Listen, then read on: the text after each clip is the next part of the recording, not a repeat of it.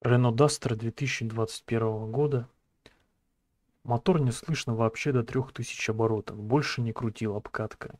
Управление удобное, все на своих местах. Привык к машине за 2 часа. Тянет, конечно, не как Audi, но свое отрабатывает хорошо. На тест-драйве было вариатор. Хоть и расхваливал его наш менеджер, но МКПП понравилось больше. Вариатор все же задумчивый, и привычка 26 лет на мешалке дает о себе знать. Вариатор будет однозначно еще более экономичный, так как на МПП 100 км в час это 2100 оборотов мотора, вариатор 1600 примерно. Что не понравилось?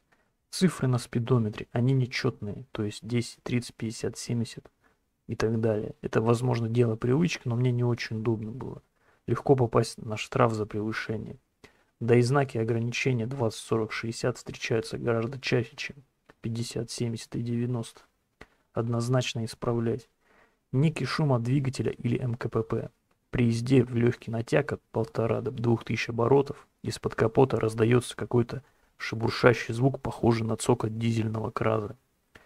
По частоте звук не совпадает с мотором, после 2000 оборотов полностью пропадает. Похоже, что это так экзонирует воздух в воздушном фильтре. Но это мне так показалось. Реально доставляет дискомфорт. Звук громче шума, от дороги и мотора вместе взятых. На тесте на вариаторе такого не заметили. Возможно потому, что при дальнейшем нажатии на педаль газа обороты прыгают выше 2000. Если сам не разберусь, буду просить дилера. Обошлась машина в полтора миллиона. В целом машина понравилась, особенно работа подвески. На наших направлениях это очень важно. Всем успехов!